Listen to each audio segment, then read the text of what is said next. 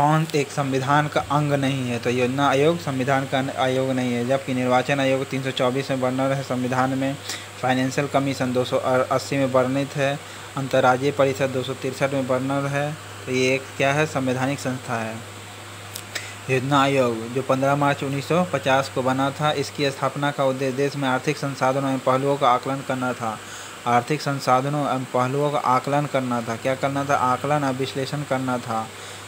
इसका अध्यक्ष प्रधानमंत्री होता है, इसके उपाध्यक्ष होते हैं, इसके सदस्य का कोई निश्चित कार्यकाल नहीं होता है। केंद्रीय गृह मंत्री रक्षा मंत्री, वित्त मंत्री इसके अंशकालिक सदस्य होते हैं। योजना आयोग एक परामर्शदात्री संस्था है। क्या है एक परामर्शदात्री संस्था है? योजना आयोग जिसका प्रमुख कार्य पंचवर्षीय के लिए तैयार किया जाता है। पंचवर्षीय योजना तैयार करना होता है।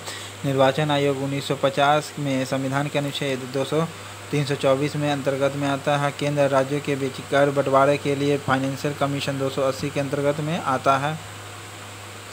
इंटर स्टेट काउंसिल दो के अंतर्गत में आता है। विवाद को राज्यों और केंद्र के बीच विवाद को निपटारे के लिए 1990 में सर्वप्रथम इस परिषद का गठन हुआ था। ओके 1990 में 28 मई 1990 को इंटर स्टेट काउंसिल का गठन हुआ था। सरकारी आयोग के द्वारा अंतर्राज्यीय परिषद तीनों वैधानिक निकाय जबकि योजना आयोग, क्या है? एक नीति आयोग अभी बना है। योजना आयोग, नीति आयोग का स्वरूप क्या है? तो परामर्शदात्री है, सरकारी विभाग है। हाँ परामर्शदात्री संस्था है। योजना आयोग क्या है? असंवैधानिक संस्था है, ठीक है। असंवैधानिक संस्था है एक परामर्शदात्री संस्था है। इसका पदेन अध्यक्ष कौन होता है? प्रधानमंत्री होता है, ओके? इसका स्थान नीति आयोग ने ले लिया। एक जनवरी 2015 को। कौन एक संवैधानिक निकाय नहीं है? देखिए, लोक सेवा आयोग संवैधानिक बॉडी है, ठीक है। लो फिर राज्य लोक सेवा आयोग है 315 में बर्नर है। फाइनेंस कमीशन, ये सभी है, ठीक है। सभी क्या है? संवैधानिक संस्था है। कौन संविधान के इतर विधिवाह्य निकाय है? संविधान के बाहर कौन है? तो योजना आयोग है।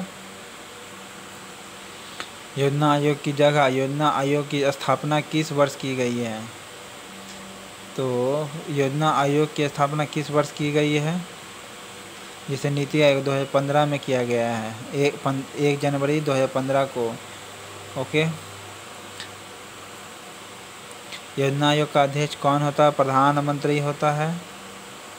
ओके? योजना आयोग जो आज नीति आयोग हो गया national institution for transforming India national institution for transforming अब बन गया है। नीति आयोग का पदेन सभापति कौन होता है? प्रधानमंत्री होता है। पदेन सभापति कौन होता है? स्पीकर कौन होता है? प्रधानमंत्री होता है। नीति आयोग का नीति आयोग का full form national institution for transforming India होता है। ओके। योजना आयोग, जिसे नीति आयोग कहते हैं, कौन सा कथन सही है? योजना आयोग, यानी नीति आयोग संविधान में कोई उल्लेख नहीं है, सही बात है। इसके उपाध्यक्ष या सदस्य का निश्चित कार्यकाल नहीं होता, सही बात है। इसके सदस्य के लिए कोई निश्चित योग्यता भी नहीं है। याद रखिएगा, इसके लिए कोई योग्यता भी नहीं है, दोस्तों। योजना आयोग के उपाध्यक्ष को भारत सरकार में सरकारी वरीयता क्रम में महत्व का दर्जा दिया गया है। कैबिनेट मंत्री के समान दर्जा दिया गया है। योजना मंत्री का जो, यानी नीति आयोग का जो उपाध्यक्ष है, कैबिनेट मंत्री के समान दर्जा दिया गया। नीति आयोग के जो उपाध्यक्ष है, नीति आयोग के जो उपाध्यक्ष है, नीति आयोग के जो उपाध्यक्ष है, कैबिनेट मंत्री के समान दर्जा दिया गया है। नीति आयोग का अध्यक्ष है जो कैबिनेट मंत्री के समान दर्जा दिया गया है। ओके। कैबिनेट मंत्री के समान दर्जा दिया गया उपाध्यक्ष को।